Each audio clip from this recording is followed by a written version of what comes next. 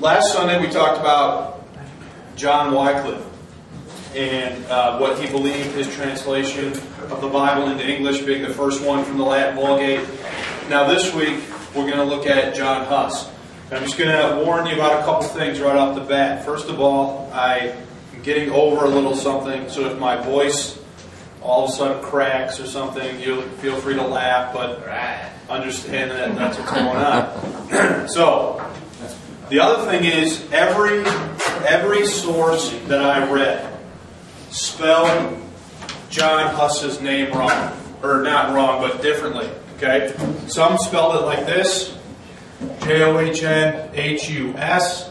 Some spelled it J O N H U S. Some spelled it J O H N H S or U S S. Okay. Some spelled it like this J A N H S.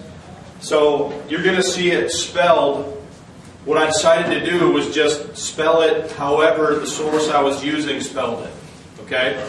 So his name is going to be spelled different throughout the. Um, unless did she change it? No.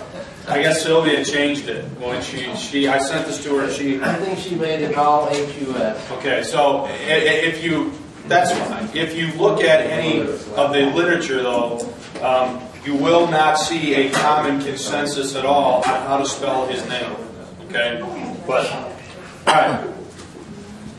So today we're going to look at John Huss and the Bohemian Brother. Who was John Huss? Is going to be the first point. Okay. Wycliffe's words quickly traveled beyond England, crisscrossing Europe. Around 1400, his ideas began to take root in Bohemia, a region in the land now known as the Czech Republic. Roman Catholic bishops in Bohemia banned Wycliffe's writings, but John Huss, a brilliant Bohemian professor and priest, had already embraced Wycliffe's ideas. So the stuff we studied last, that's why we do Wycliffe first, okay? Because Wycliffe's ideas are going to filter across Europe. The Lollards are going to be sent out. They're going to go preaching. They're not just going to preach in England, they're also going to preach in other areas. And as we'll see in a second, there's also a political tie between Bohemia and England as far as a royal marriage between the royal families of those two areas. So there's also a direct tie there between those two uh, regions of Europe just because of this marriage that's going to occur that's going to kind of bring those areas together. But Wycliffe's ideas are going to spread across Europe and they're going to take root uh, very deeply in Bohemia.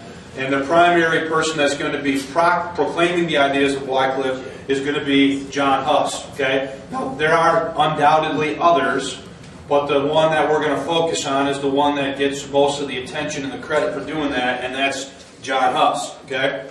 So, while the message against the Lollards was proceeding in, in another land, Bohemia, the writings of Wycliffe were reinforced in helping to shape the revolt against the Catholic Church, which was accompanied by far more bloodshed than was the attempted expiration of their influence in England. So, if you're looking at the, the, the short way of saying that is to say this. There's going to be way more persecution, way more bloodshed on a higher level in Bohemia with John Huss over the ideas of John Wycliffe than there were in England. Okay, and I think you'll see that by the time we get by the time we get done with this. Now, last Sunday we talked about how the division in the papacy between the Pope at Avignon and the Pope in Rome, how they there was that great schism there, and how each one of them excommunicates the other one, and how that actually led to the advantage of Wycliffe as far as saving his own life. Uh, because the church had that massive division within it at the same time. Well, that is still going on to some extent while Huss is uh, going to have his career in Bohemia. Okay, um, Bruce Shelley, the author of Church History in Plain Language, offers insight into the historical connection between England and Bohemia, and by extension, Wycliffe and Huss. Shelley states the movement Wycliffe launched continued in England under uh, restrictions, but found an ever greater opportunity for expansion in Bohemia. Here it is. The two nations were linked in 1383 by the marriage of Anne of Bohemia and King Richard III of England. So students of both countries went back and forth between Oxford and Prague. Okay? So this marriage between the princess in Bohemia to the King of England creates a political link and students are going to be traveling back and forth from Oxford, where you already know that Wycliffe was a professor, across Europe to Prague. And so there's going to almost be an, uh, almost like a foreign exchange student type type program there. It's not like official or anything like we would recognize it today, but that's kind of what's going on. So there's a direct connection between these two regions, and there's an exchange of ideas that's occurring between Oxford and Prague. Okay. Now Wycliffe's revolt uh, it's going to be much greater success in Bohemia because it was joined to a strong national party led by Huss. The Czech reformer came from peasant parents in southern Bohemia in the small town of uh, uh, Husovec.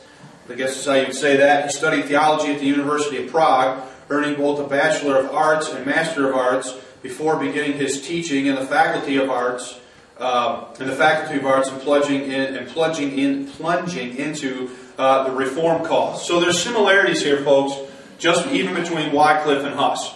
They both are going to be professors.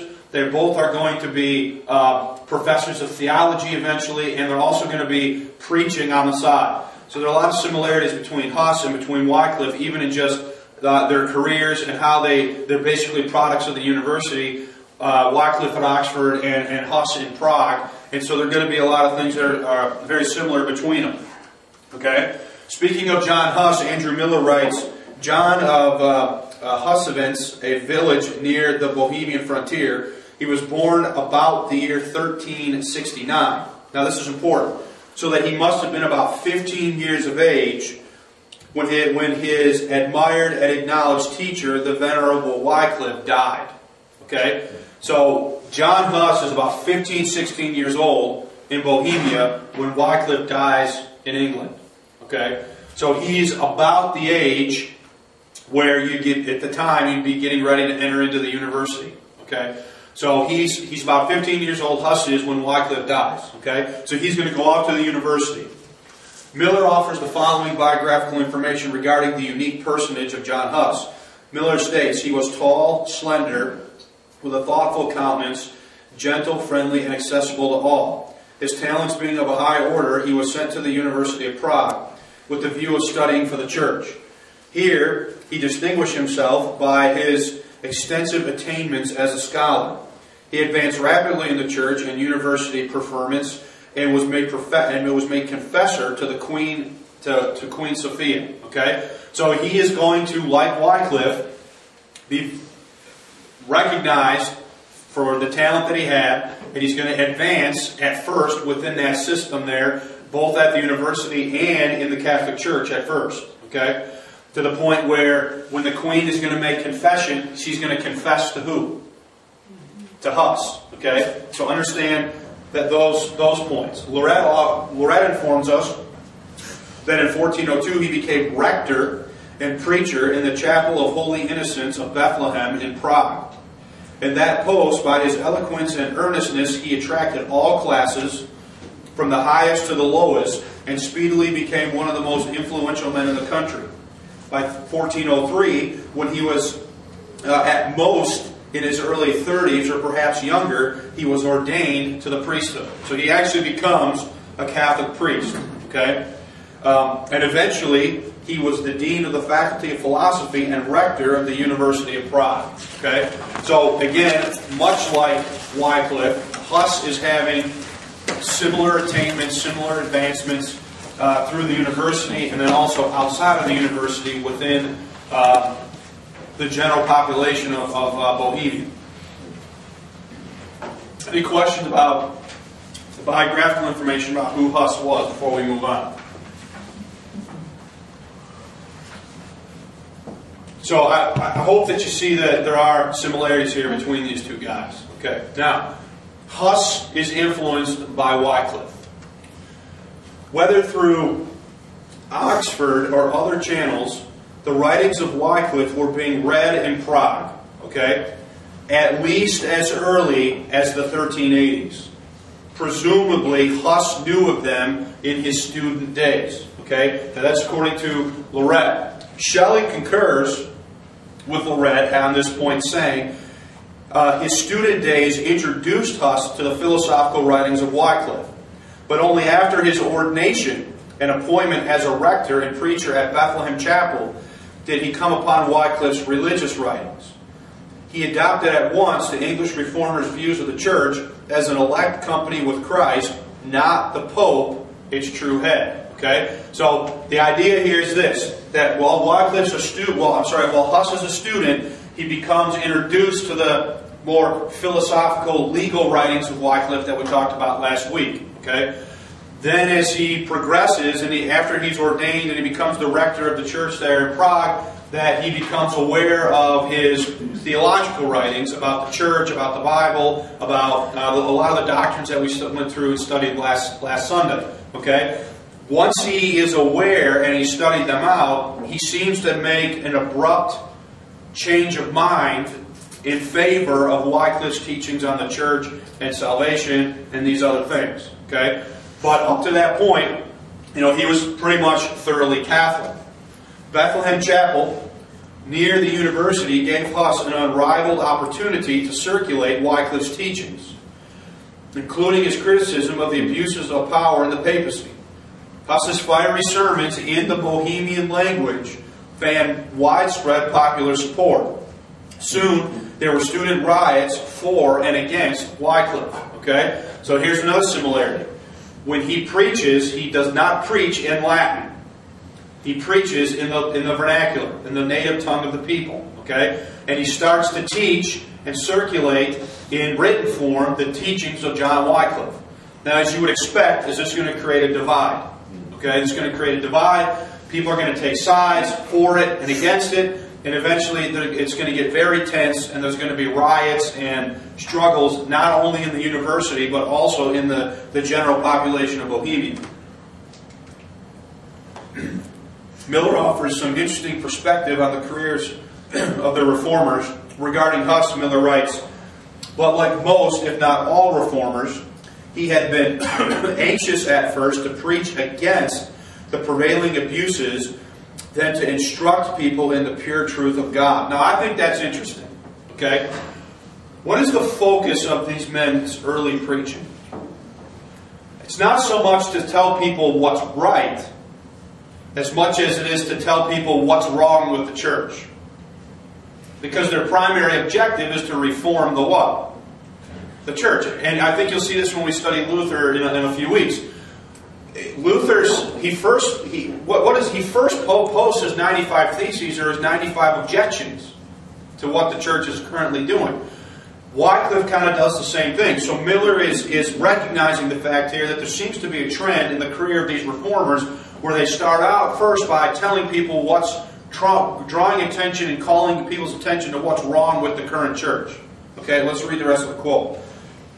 We are convinced that this has greatly been the case in all kinds of reform, and must account for many of the many scenes of violence in the best of best of causes. The people were led, first of all, through the blessings of God to receive the truth, especially the truth as it is in Jesus. The end would be gained without the mind, uh, mind being inflamed by hearing uh, denounced in strong language the vices of the priestly oppressors. So what Miller's saying here is that if he thinks that if they had just taught the truth, that the truth would have um, sort of shown the light on what the lie was and what was wrong without having the effect of stirring everything up to this frenzied pitch where eventually you have riots.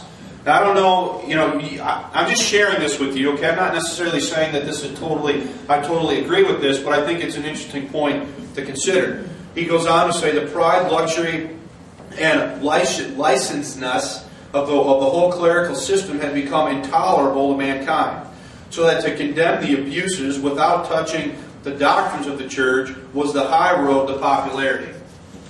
Now, he's while he does say this, he does support Huss, okay, calls him one of the great reformers, but I do think that's an interesting point because you're going to see that with Wycliffe. You, uh, we saw that to some extent with Wycliffe. You see it with Huss. You're going to see it with Luther, where they're first, the first thing they do is, is to point out what's wrong with the church.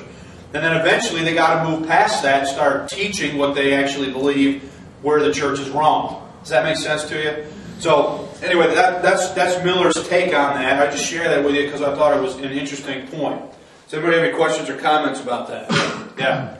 Well, I think it's a it's it's part of the nature of man when he found, finds out that you've been duped so to speak, is that your first defense against that is to tell everybody, "Uh, I've been misled all this time, you know, and why is this? And, and then you can get that through and then get down to what's really important, but I think it's part of the human nature to do that.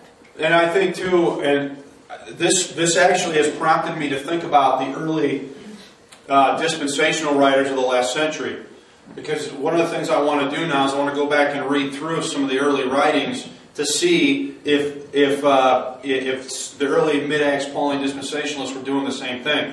And I, I, my my sense is to some extent they were. They're pointing out where the Acts two people or the or the uh, the covenant people or wherever were wrong and then they over time moved on to, to sort of explaining themselves in more positive terms why they were right. Um, but I'm still working through that. Um, I'm not prepared to say any more than that at this time, at least regard to that. But I do think it's an interesting point. He became Huss.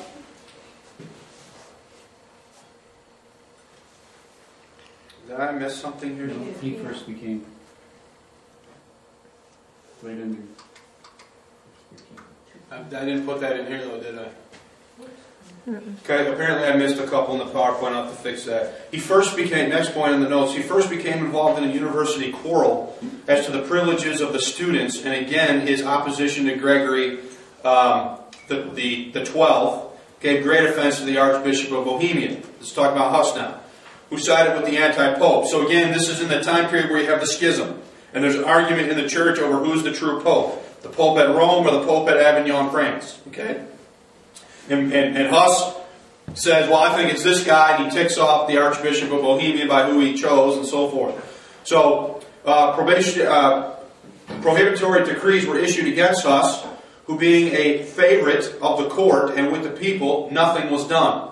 He was allowed to continue his preaching in the vernacular language. So, he definitely is condemned, much like Wycliffe was, we studied last Sunday how Wycliffe had the protection of influential people within England, and he was never totally silenced. Okay, early on, Huss had a similar order issued against him, but because he's being protected by certain influential people within society, he's allowed to continue preaching. Okay, for a while. Piecing next point, piecing together information from Jones and Shelley, more clarity emerges regarding these events. In 1407, the Archbishop of Prague grew restless and complained to the Pope about the spread of Wycliffe's doctrines. The Pope replied, the Pope's reply to Archbishop uh, Zebedek was, simple, was simply root out the heresy, for which Huss was excommunicated. Refusing to hush, Huss continued to preach. So he's, he's really essentially excommunicated, but no one really follows through with the order of excommunication, and Huss is continuing to preach at least for a while. Okay? And again, next point, now this would be the top here. Sorry about that. Need to make a note of that, that I fix that. Uh, Huss made matters worse when he openly attacked the Pope's sale of indulgences for the support of his war against Naples. So the Pope's going to war, the papal war against Naples, in order to pay for it, he's selling indulgences. And Huss openly attacks this practice, very interestingly, similar to who is going to? Luther, okay, uh, against this. This move caused Huss the support of his king, uh, Wenceslas, and when Prague fell under a papal interdict, we talked about what that meant in the past, because of Huss, the reformer left for exile in southern Bohemia. During this period of retirement, Huss drew heavily upon Wycliffe and wrote his major work on the church. Okay? So, what really gets him in trouble is when he attacks the sale of indulgences to support this papal war against Naples. Once that happens, the Pope puts all of Bohemia under the interdict. Remember what that meant? That meant that no sacraments could be issued in the entire country.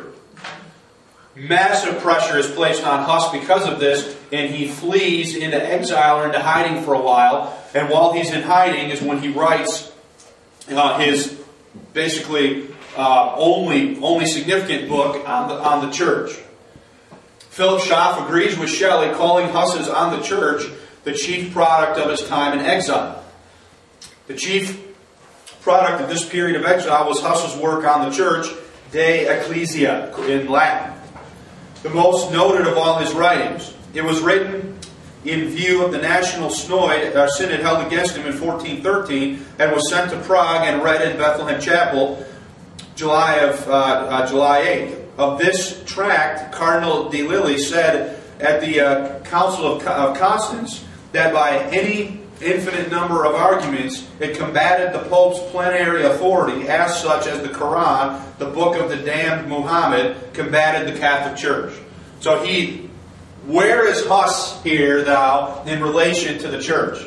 They're saying Huss is as damned, if you will, as Muhammad and the Quran are to, to Islam. It's in their stance to the church. Okay? So basically, they're calling him an outright total heretic.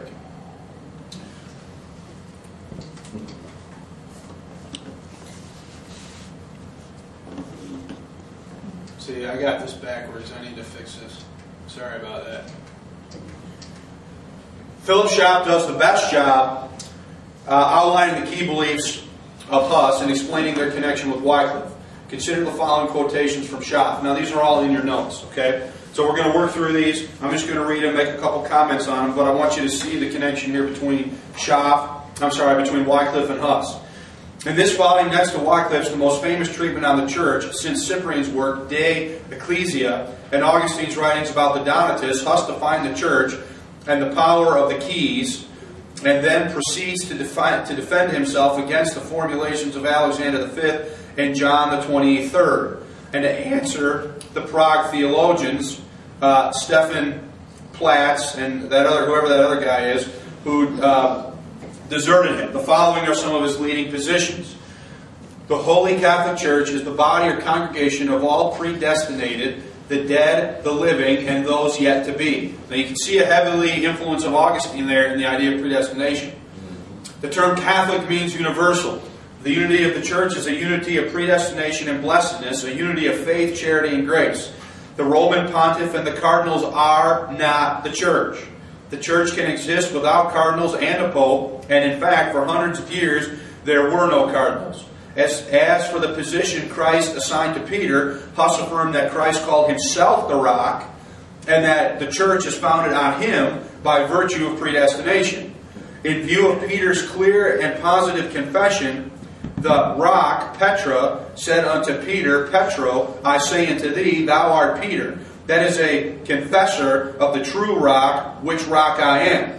And upon the rock, that is myself, I will build this church. Thus Huss placed himself firmly on the ground taken by Augustine. Peter never was the head of the Holy Catholic Church. So does Huss reject the papacy? Does he reject the cardinals? Does he reject that whole system? Okay, next point. Huss set himself clearly against the whole, whole um, ultramontane theory of the church and its head. The Roman bishop, he said, was was was on, I'm sorry, an equality with other bishops until Constantine made him pope. It was then that he became began to usurp authority. Through ignorance and the love of money, the pope may err and has erred, and to rebel against an erring pope is to obey Christ. There may there may have been depraved and heretical popes. Now, all of that is just totally not acceptable if you're a Catholic at this time. Okay? Especially if you're favoring the papacy. And the second part of De Ecclesia, Huss pronounced the bulls of Alexander and John uh, the 23rd anti-Christian and therefore not to be obeyed. Alexander's bull prohibiting preaching in Bohemia except in the cathedral, parish, or monastic churches was against the gospel. For Christ preached in homes, on the seaside, and in synagogues, and bade his disciples to go into all the world and preach. No papal excommunication may be uh, in, uh, may be an impediment to doing what Christ did and taught to be done. So is he just thumbing his nose at this whole thing? Okay, he's saying you can't. I'm not going to listen to that because Christ did it, and so I'm going to do what Christ did. I don't care what the Pope says because the Pope is wrong. Turning to the Pope's right to issue indulgences, the reformer went over the ground that he had already traversed in his replies to John's two, two bulls calling for a crusade against um, this guy here. This guy's name starts with an L. He's the king of Naples, by the way. Okay. He denied the Pope's right to go to war and to make appeal to the secular sword. If John was minded to follow Christ, he should, pray, he should pray for his enemies and say, My kingdom is not of this world. Then the promised wisdom, wisdom would be given, which no enemies would be able to gainsay. The power to forgive sins belongs not to mortal man any more than it belonged to the priest to whom Christ sent the lepers. The lepers were cleansed before they reached the priest. Indeed, many popes who conceded the most ample indulgences were themselves damned. Confessions of the heart alone is sufficient for the soul's salvation uh, were, the app, were, were the applicants truly penitent. So, again, like Wycliffe, does he totally get rid of everything Catholic? No, but is he denouncing the majority of it? I think you've got to say yes. Last point, in denying the infallibility of the, of the Pope and the Church visible, and in setting aside the sacerdotal power of the priesthood to open and shut the kingdom of heaven, Huss broke with the accepted theory of Western Christendom. He committed the unpardonable sin of the Middle Ages. These fundamental idea, ideas, however, were not original to the Bohemian reformer. He took them out of Wycliffe's writings. He also incorporated whole paragraphs of these writings in his pages. Teachers never had a more developed pupil than the English reformer had in Huss. Devoted, I'm sorry, not developed. The first three chapters of De Ecclesia are little more than a series of extracts from Wycliffe's treatise on the church. What is true of this work is also true of most, most of Huss's other Latin writings. Huss, however, was not a mere copyist. The ideas he got from Wycliffe he made thoroughly his own. When he quoted Augustine, Bernard, Jerome, and other writers, he mentioned them by name. If he did not mention Wycliffe, he took, uh, when he took from his arguments in entire paragraphs, a good reason can be assigned for his silence. It was well known that it was Wycliffe's cause which he was representing and Wycliffian views that he was defending. And Wycliffe's writings were, were wide open to the eyes of members of the university faculties. He had no secret he made no secret of following Wycliffe and being willing to die for, for the views Wycliffe taught. He wrote to Richard uh, uh, he was thankful that under the power of Christ, Bohemia had received so much good from the blessed land of England. Okay? So I think we see pretty clearly here where is Huss getting his information? He's a student of Wycliffe. He's going out, he's writing something now in, in Bohemia, and he's basically, I don't want to say just regurgitating, he is using Wycliffe, but he's also, you know, uh, making some of his own arguments in, in writing these books, okay? Um, so, definitely Huss is influenced by who? Wycliffe. He's teaching much of the same things that Wycliffe taught, and there's no doubt about the fact that these two men are linked together, and, and, and Huss made no bones about the fact of what he was doing. Okay? And everybody in Bohemia and the Czech Republic knew where he was coming from. Okay? Any questions about that?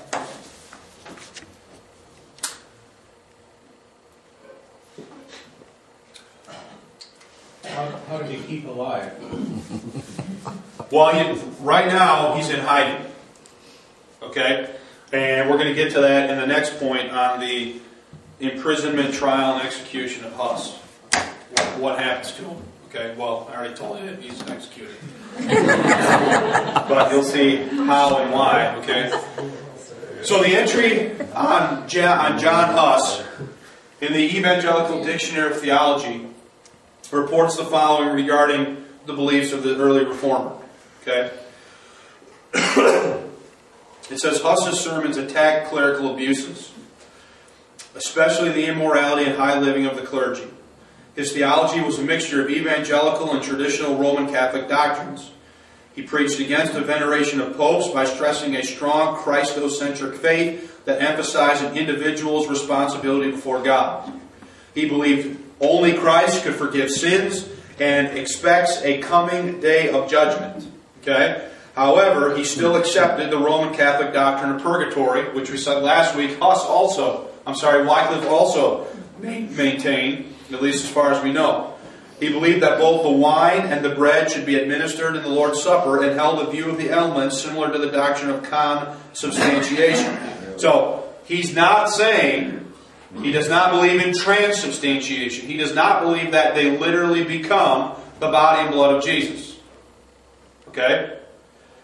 he emphasized preaching the Word of God to bring about moral and spiritual change in, in listeners' lives and to help read the Scriptures. He also revised a Czech translation of the Bible.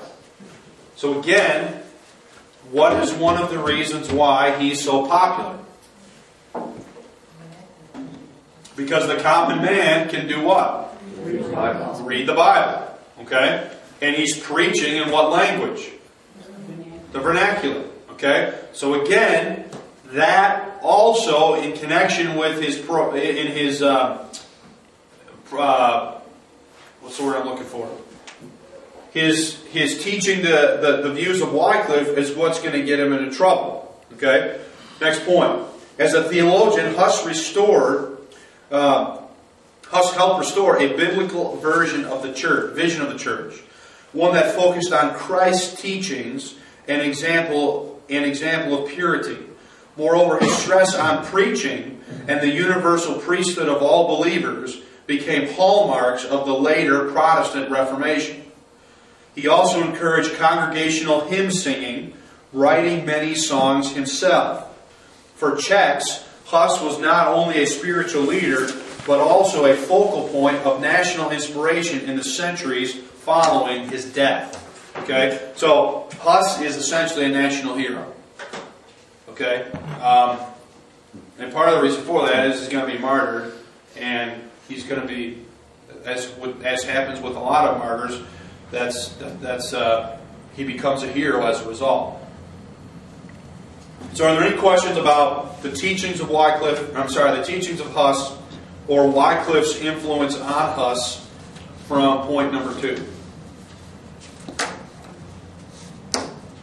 Seems like there's a pattern, like is it God sanctioned that, I know like Luther, I mean, he didn't mean to, but he started that war that killed so many people just for the recovery of truth. It seems like it's stirred up through the ages, even the Lord when he walked on the earth, he went to the temple. Is that, he, he took the tables and he, he turned them upside down and Well, brought, so it seems like mankind needs, what is it everything these guys are doing. There was a peasant revolt in England after Wycliffe. Okay? We talked about that last week, how there was a revolt there. There's going to be a revolt and riots here in, uh, in, in Bohemia. There's going to be the peasants' revolt in, in Germany after Luther. Um, after Luther's teachings become popularized and when he's in exile. So what's had that's why in my book in my in the uh, the book that I wrote for my master's thesis on the Protestant Revolution that's why I called it a revolution because this this movement literally flipped European society on its head because all the power players that had been in power for a thousand years the Catholic Church are going to be removed ultimately from the power they what they have never been as powerful as they were before the Reformation as they were before it. Okay, and in fact, it's not till the, the the Reformation is well underway before the Pope, in a sense, really even realizes to what extent it's it, it, it's happened. And so they call the Council of Trent and they form the Jesuits, the Society of Jesus, and their main goal is to stop by force of arms, if necessary, the, the continuation of Protestantism. And they, they, they, they take a, an approach that no matter, they do whatever's necessary, infiltrating the colleges, infiltrating the universities, uh, war, what missions work, whatever's necessary to, to further the cause of the Catholic Church. Which is why when the, when the New World is discovered, and the, the leading power of the world at the time when the New World is discovered is who? Spain. Spain is staunchly what? Catholic. Catholic. So when the, when the conquistadors come over to the New World, in every one of their, their, their processions, they have Catholic, Catholic bishops and monks in there, and they go all through Central America, South America, Mexico, and they teach Catholic doctrine. They set up Catholic churches. And why is almost all of Central America and South America Roman Catholic? Because that was the influence, and that was a that was done on purpose by the Jesuits to try to combat Protestantism. So anytime you see this thing going on here, Linda, there's almost always because it's not just the recovery of biblical truth. The recovery of biblical truth illuminates what's really going on in the secular power structures. And when that happens, it leads to people saying, no, we don't want this anymore. And so you're going to, that's, think about all the religious wars in Europe. Uh, the main argument I actually make in that book is that the, the, the Protestant Revolution starts with Luther and doesn't end till over 100 years later at the end of the Thirty Years' War. Because it's the end of the Thirty Years' War in the 1600s that stops the religious wars of the, on the European continent. And basically says, we're not going to have a Catholic state anymore. And it's the beginning of the idea of nationalism that each of these each of these independent states in Europe should all have their own country and their own government, and they don't have to be run by a massive Catholic state or a Holy Roman Empire or anything like that. And so that's the end. There is great political turmoil that results from Luther nailing those things on the door. And then you see the, it's changing, like from the serfs, they're getting a middle class.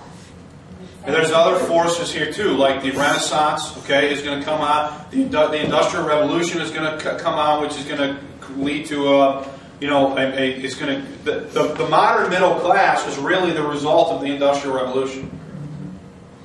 Okay, now we could talk at length about that and all the abuses that came about as a result of the Industrial Revolution, and that's where you get Marx, that's where you get Engels. that's where you get these guys who look at the industrial society and they say, well, this isn't right because um, all the guys at the top are getting filthy, dirty, stinking rich off the labor of the guys on the bottom, and the divide is increasing between them. And so, what we need to have, what's going to happen is there's history is going to be what, what, what he says is that, what Marx essentially says is that history has been a struggle between the haves and the have nots.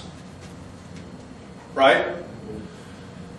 And what, what socialism and Marxism essentially are teaching is that eventually the have nots are going to rise up, overthrow these guys, and establish what he calls the dictatorship of the proletariat, where the result is going to be a classless what? Society. Which we see on our TV. Okay? So those are all forces and factors that are eventually going to come out of this entire sweep of, of world history. And this is the stuff we're still struggling with now. Okay? Any questions about that? It's interesting how you see God working, and He doesn't let the truth go dormant too long. There's always somebody that pops out with the real truth. I, think that's a I think that's a good point, and I think if you've seen anything in this class, that should be one of the key observations, you know, that, that you make that you know the truth has been suppressed, but it hasn't been stopped. It's always been there. Somebody's always been teaching it. Somebody's always been standing for it. Okay, and it's interesting too. You look at the and it's out of this industrial. You know, other things are happening here too, right? Because the scientific revolution comes along, and then they say what? Well, the only thing that you can really know for sure is things that you can prove by science. And so the old ways of doing things, where people just accepted church doctrine, just accepted the Bible, or, or accepted, you know, old Greek explanations for things, are going to be challenged, which is going to lead to the Enlightenment, which is going to lead to the Age of Reason, and all and the modern world, and now, you know, all the stuff that we struggle with now. And all through that, you're going to have the God's Word being recovered at, at various times in history to, to varying degrees, but it's always going to be there.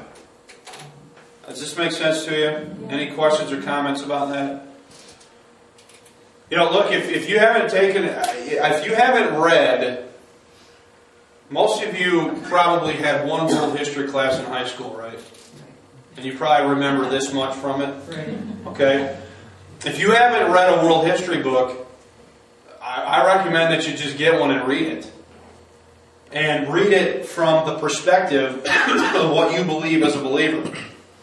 And you can it'll give you a lot of insight into what's happened and why, and possibly some insights into where things are going. The Bible gives you insight into that, right? You know things are getting worse or getting better. They're getting worse. Okay? But this, you know, so just real quick while I'm thinking about this, Darwin explained the beginning of everything without who? God. Marx explained the end without God. That's why there's almost always a connection in someone's ideology between socialism and evolution. Because they both are systems of thought that are predicated on the idea that God does not exist. One explains the beginning without God, the other one explains the ending without God. Okay. Now look at what's going on right now in modern America. Can you teach creationism or intelligent design? No. Because of separation of church and state and all this other stuff. Okay? Can't do it. So, but can you teach that? Can you teach evolution? And so the result is a worldview that has nothing to do with who? The beginning, the ending can all be explained without God in the Scripture, and as a result, modern man has no need for God. Now, that's just my pontifications, I suppose, but hopefully they're helpful to you. Anyways, we got to move on here. We're not going to finish. Any, any other questions or comments about that? Linda? No, I'm, no, yeah, I, oh yeah, I could go on for a long time. Imprisonment, trial, and execution of Huss. In 1415, an imperial herald found Huss. Because remember, he's been in hiding. They find him. Okay? And asked him to defend himself at a church council at the German city of Constance. The Holy Roman Empire, Emperor promised to protect Huss on the way to the council and from the council. Huss accepted his offer. Unfortunately, the cardinal did not keep the Holy, Rem- Holy Roman Emperor's offer, and Huss was imprisoned in the castle of Constance. I'm sorry, who's the Holy Roman Empire? It's not the Pope. It's not the Pope, it's the, it's the Emperor, it's the secular authority. Okay.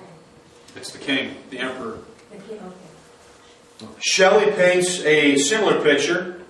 The Council of Constance was now fast approaching, and Huss yielded to the urging of, the, of Emperor uh, Sigismund and agreed to appear at the council.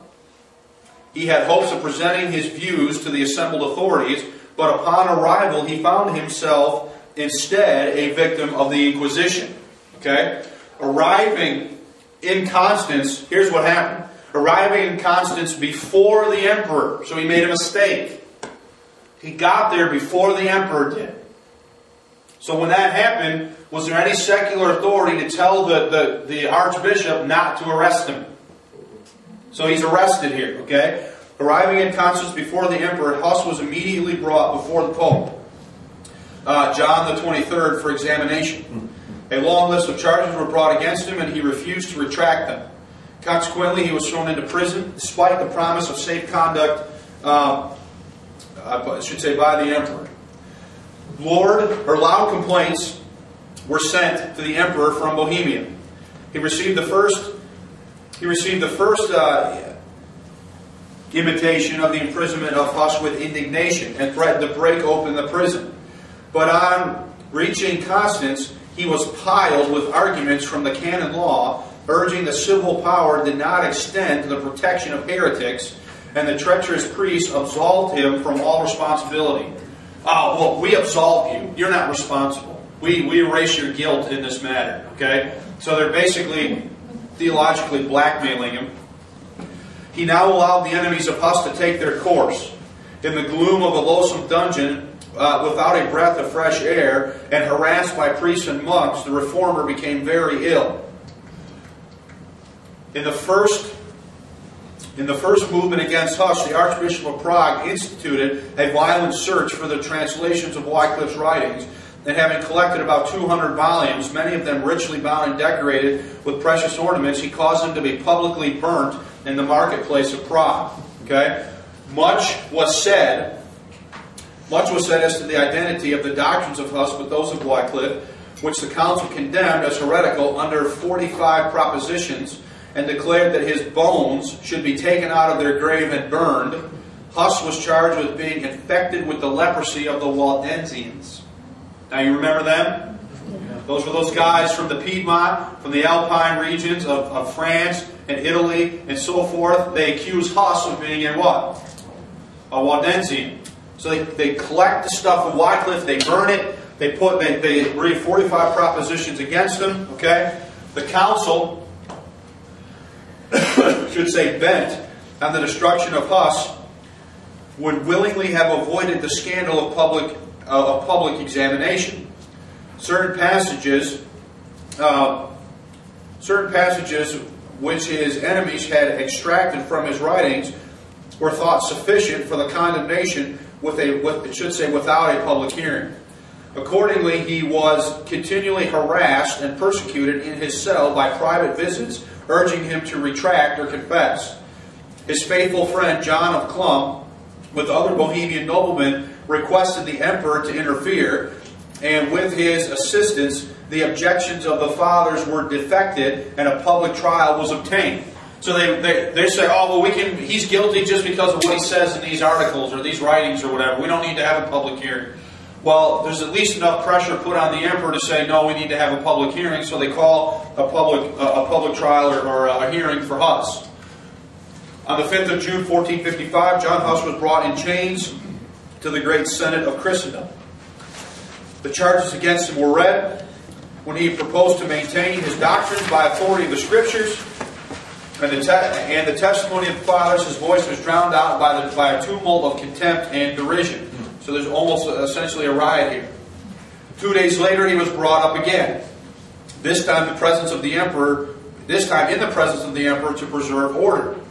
Despite being exhausted due to illness and enfeebled by his long confinement, Huss refused to bend before the violence of his, of his persecutors. He answered with great calmness and dignity, I will not retract unless you can prove what I have said is contrary to the Word of God, was his usual reply. He says, you can prove me wrong from Scripture, I'll what? I'll retract. I'll confess.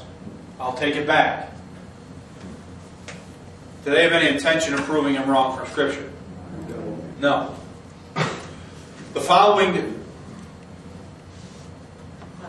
I'm sorry, go ahead. When charged with having preached Wycliffe doctrines, he admitted that he had said Wycliffe was a true believer, that his soul was now in heaven, and that he could not wish his own soul more safe than Wycliffe's.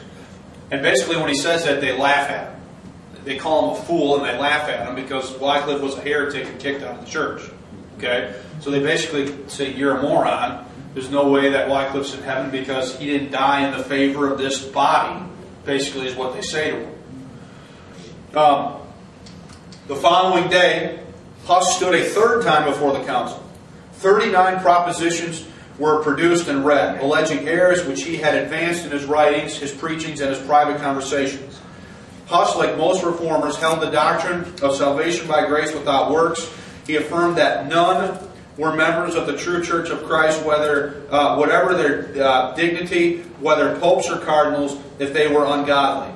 The pontiff who lives not the life of St. Peter is no vicar of Christ, but the forerunner of the Antichrist. Now you can see why they want to kill him. Okay? the proposition treated, uh, treated chiefly of two things. So there's essentially two things. Number one, the false theology of Rome. Huss had denounced the popish doctrine of salvation by works in the many ways which the church prescribes. Number two, the false ecclesiastical system of the popery with its, with its glaring abuses. These he exposed and condemned with the most unsparing terms. So there's two things that are essentially mad at him about. Denying salvation by works and the sacramental sacerdotalism of the church, and also saying that the, the whole papal system is a sham, it's run by sinners, and it doesn't mean anything. Okay? So those are, of all the charges brought against him, those are the two fundamental ones that they're really mad at him about, which essentially encapsulate all the other points that he had to make. Okay? These anti-Catholic doctrines aside, this is interesting, his condemnation seems to have stemmed from his assertion that no office, priest, or king availed in God's sight if the king or priest lived in mortal sin. Okay? When pressed on this point, Huss said, A king in mortal sin is no king before God, thereby sealing his what? Now, why does that seal his fate? Because the king. Because the emperor's standing there saying, Are you kidding me? and after all, we we've already studied the Inquisition. Who, had the, who was it that was going to have to put him to death? The king, because the church authorities were not allowed to do it. So they would hold the trial and so forth, and then they turn him over to the secular authority for execution. Okay? So when he says that statement, a king, a king in mortal sin is no king before God, he's basically sealing his fate because there's no way the emperor isn't going to execute him now after he basically says he's not a real king. So does the emperor have a little conscience here about not protecting Huss and all the stuff that he promised he would do, and then allowing him to be tortured and you know questioned and all the stuff that was going on? So Huss basically he doesn't he goes right after the king in, in, in making these these statements. Mortal sins? I mean, what is, he's living in luxury? Catholics make a distinction between mortal and venial sin. Um, a venial sin is like a little white lie, something like that. A mortal sin would be something like murder, um, some gross, heinous type type of act. Immorality and. Yeah. So after removing Huss from the court, Emperor Sig- Sigismund uh, said, this is what he says, You have heard the charges against Huss. Some confessed by himself, some provided by trustworthy witnesses, which I would say, yeah, right. In my judgment, each of these crimes is deserving of death. If he does not forswear all his errors, he must be burned. The evil must be extirpated, root and branch. If any of his partisans are in constance, they must proceed against with utmost severity, especially his disciple Jerome of Prague. After this mockery of a trial and the final audience, he was left in prison for nearly a month. So they leave him in prison for another month. During this time, persons of the highest rank visited him, entreated him to abjure the effects uh, which were imputed to him. It was hoped that through increasing bodily infirmity and private uh, importunity, uh, importunity, he might be overcome. So they leave him in prison for another month and subject him to the worst type of treatment and so forth, hoping that he's just going to do what? Die or confess, okay? Because they really don't want to do what? They don't want to execute him publicly because they know if they do, are they going to have a riot on their hands? Okay? There's some pictures of it there. So on July 6, 1415, the Cardinals drew demons on a paper hat, jammed it on Huss's head. Now, I had to make a decision here about how much stuff I was going to put in the notes. But if you want to read Miller, Andrew Miller in Miller's Church History goes through a lot of detail about what they actually did to him. But they brought him up and they dressed him in his whole priestly garb, basically. And then they went through a whole process where they mocked him, defrocked him, okay, stripped him of all of his um, all of his position within the church in a mocking fashion, and they jammed this. You can see it in this picture here. They jammed this this paper um, hat on him with demons drawn on it, and they basically are calling him Satan. Is essentially what they're doing. Okay, so I'm gonna read the rest of that quote. On July 6, 1415, the Cardinals drew demons on a paper hat and jammed it on Huss's head. The church could not kill a heretic, only the government could undertake that task. So the Cardinals handed Huss over to the king's soldiers. As soldiers tied him to a pole and prepared to burn him alive, Huss prayed, Lord Jesus, please have mercy on my enemies, and he died singing psalms. And right before they threw the torches on the fire, they said, you sure you don't want to retract? You sure you don't want to confess? And according to some accounts, he actually died of the smoke inhalation before he burned alive. Okay? I don't know if you can prove that or not, but I, read a few things that seem to make that suggestion that he was probably dead before the fire actually got to him. I mean, you got to remember, is this guy been basically beat to a pulp and spent who knows how long in a dungeon and so and so forth. He probably was not in very good shape to begin with, and he's he's he's officially he's burned at the stake. Okay, is the official would be the official cause of death, um, and that's what you see there in the picture. All right, any questions about any of that before we get to the last point? This was all done in public? Oh yeah. And what hap- what happens after this? So for a while, all heck breaks loose in Bohemia over this.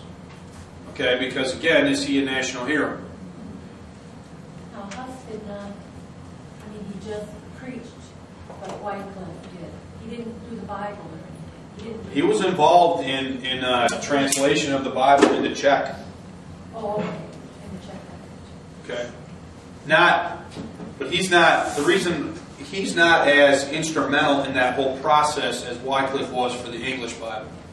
Right, because it's Wycliffe and then. Wycliffe and then Tyndale would be the second one. The Bohemian Brotherhood. The burning of Huss did not end the movement, of which he had been the leader. Indeed, it furthered it. Huss became a national hero. While he was in prison in Constance, some of his followers began giving the cup in the communion to the laity.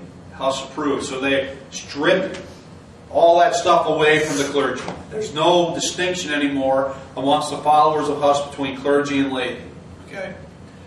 In Bohemia, those who followed Wycliffe and Huss, uh, basically they, they fall into two camps. Okay. You have one more aristocratic, and that group be, uh, began or became in the communion they gave both the bread and the wine to the laity, wished for the free preaching of the gospel and a moral clergy that stood against those practices of the Catholic Church which they regard as forbidden by the Bible.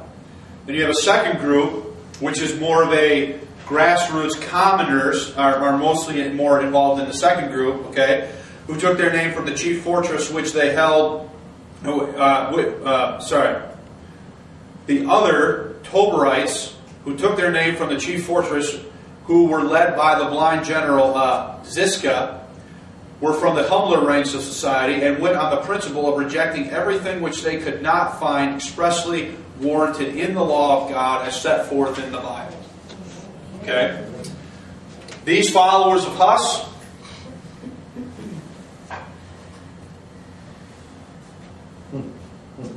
Apparently that's a repeat.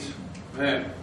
These followers of Huss struggled against the Roman Catholic Church and the German Empire until several wars reduced their numbers and number and influence. Despite the best efforts of the papacy to bring an end to the Bohemian heresy, an independent church survived, known as the uh, Unitas uh, Frat- Fraterum, or Unity of Brotherhood. Until the coming of Luther, it remained a root in dry ground. Lorette adds that the uh, Unitas Fraterum, or Bohemian Brethren, appeared about the middle of the 15th century and seems to have been made up of elements of both the group, those, those, those two groups there, and the Waldensians. Okay, so these guys are the forerunners of basically Luther in the German area surrounding Bohemia. Lee? Pastor, before you go, I'd like to just, uh, it's hard for me to contain myself here. I had the, I had the privilege of uh, being in St. Giles Church, which was the church of Huss. Across the street was his home, and it stands today, frankly, as a model, uh, a memorial of the Roman Catholics' superiority or, or defeat of Huss across, right next door to his house, well, the, the home today is a museum. But right next door to it, uh, D.L. Moody was so moved by that, he bought the property. And in the 1850s, Uh, he built and paid for a church there, which is still operated by the Wycliffe Bible translators. And I had the privilege of preaching there for almost a week Really? there. And uh, but I'm telling you, the Roman Church still thumbs their nose, and they still would like to have you remember that this was John Huss's church. But uh, in fact, that was in our lifetime that the Roman pre- the Pope actually visited that church and preached from Huss's pulpit. What a miracle! It's called St. Giles. If you want to look it up, St. Giles Okay. is the name of the church. Well, I of course don't have a neat story like that, but uh, yeah, that's that's cool. Yeah, that would be a massive insult for them to preach from that pulpit. That'd be that's. But see, everything they do is calculated. They know what they're doing. Okay, uh, Mi- Mike Mike laughs uh, was laughing kind of under his breath a few weeks ago about the idea that the church has changed its colors. Uh, when we were kind of talking about that, I don't. You know, look, you should not think for a second that if that church thought that it could reassert the same power and authority they had before the Reformation, that they wouldn't do it in a second. Okay, they have not changed their fundamental opinions about any of that stuff. All right, it's just that's just the way it is. Church history has borne it out. Current church doctrine, practice, and teaching bears it out. All right. So here's what we're going to do. Next week, I'm not going to be here. I believe Paul is planning some sort of a study during this hour at 9 o'clock as normal. Okay? I don't think it's going to be a church history study, but it's going to be a study on something. I don't, I don't know what, but he said he was going to have class. So there will be class next week at 9 o'clock. When we get back, the 10th of April, I'm going to teach a lesson on the Renaissance. Then, after we're done with the Renaissance, we're going to take the rest of April and May to talk about the Reformation. And then we're probably going to stop at that. I'm hoping that you will say to me that you have enjoyed this enough to continue next school year to bring it all the way up through where we're at today. That was my initial goal when we started, and I knew, I knew when we started that I wasn't going to be able to do all of it in one in one school year with only teaching an hour one time a week. Okay, so be thinking about that. If you say uh, if you say not to, I might say tough knobs. I'm going to do it anyway, uh, just because I want to do it. But uh, that's kind of that's kind of the plan. And then we're going to finish. We're going to finish this off, and we're uh, at the end. I told you about this last time. We're going to have a movie night, uh, probably sometime in early June, uh, where we'll come in and we'll watch uh, the Luther movie in the auditorium. For those of you that are interested, and anybody else who wants to come. When are you going to publish your master's thesis what? On the history? You were just mentioning. I already did. It's in the bookstore. The Protestant Revolution and the Thirty Years' War. Whoa, I didn't see it. It's in the, the bookstore. Okay, any, any other questions or comments? Yeah. It seems odd that uh, both Wycliffe and Huss hung on to the concept of purgatory. Have you got any explanation for that? The only explanation I have for that is kind of what I said last week that when you talk about recovery of truth, another thing that we seem to see is that a generation will come on and they'll, they'll, they'll get some things, but they'll only get so far. They'll teach the things that they get, then the next generation will says, okay, we got that, and then they, they go a little further and they go a little further till eventually, you know, you have I don't know if you want to call it, I, I- hesitate to say a full recovery because that would imply that we know everything there is to know, which I don't believe we do. But each generation kind of goes a little bit further. And you even see that with, within the grace, the grace movement where that has definitely happened. Okay? Um, so uh, that would be my explanation. Purgatory was in the Apocrypha. Yeah, the, the, the apocryphal books do teach, but you can't find it in a So is Bel and the How about in the Latin uh, translation of the Bible? Would there have been anything in there that might have been interpreted as being uh, purgatory? The only, I don't know, do you, I talked about purgatory last year in the series we did on eternal punishment. And the last message in that series was called The Halls of Heresy. And I talked about purgatory in that series. It's on the internet if you want to look at the notes.